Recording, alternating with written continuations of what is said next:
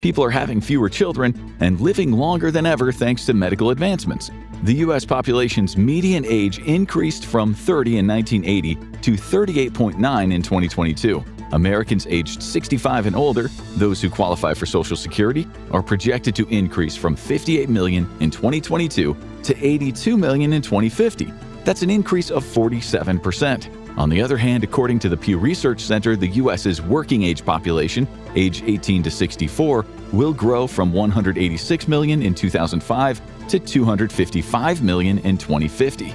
This is only a 37% growth over a much bigger period of time, and that represents a smaller rate of growth than that of the overall population. And there is one huge issue with that projection. Roughly 82% of the expected population growth is projected to come from immigration, not births. And that means if future policies restrict immigration, even this already slow growth in the working age population could stall out completely. If that happens, that is bad news for Social Security. There will be fewer workers paying in, more retirees cashing out, and a system under serious strain.